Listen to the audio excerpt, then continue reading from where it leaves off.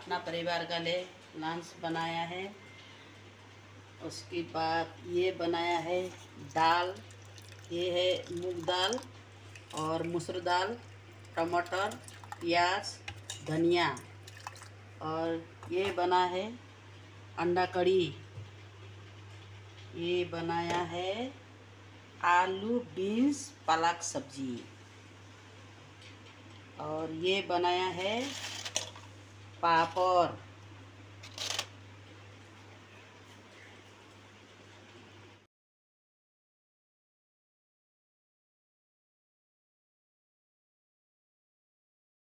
बढ़िया एकदम टेस्टी ये है बॉयल सब्ज़ी आलू टमाटर धनिया अदरक लहसुन और पालंग पा, पालक सब्ज़ी और यह हमें ढाला है।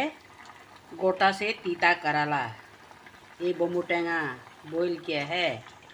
उसके बाद इधर ये है ये है बॉयल गौरी मीट हाँ ये लाया है नागालैंड से। ये देखो।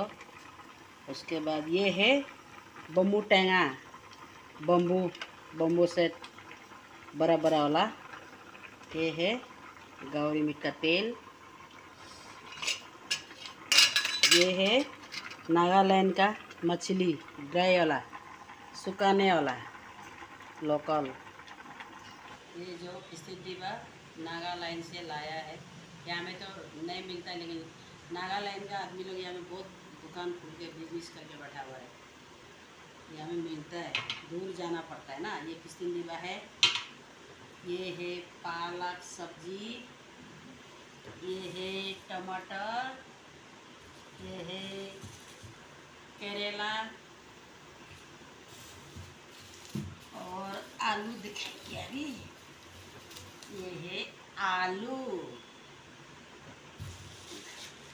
तो ये जो है नागालैंड का सुकाला गाउरी मीट।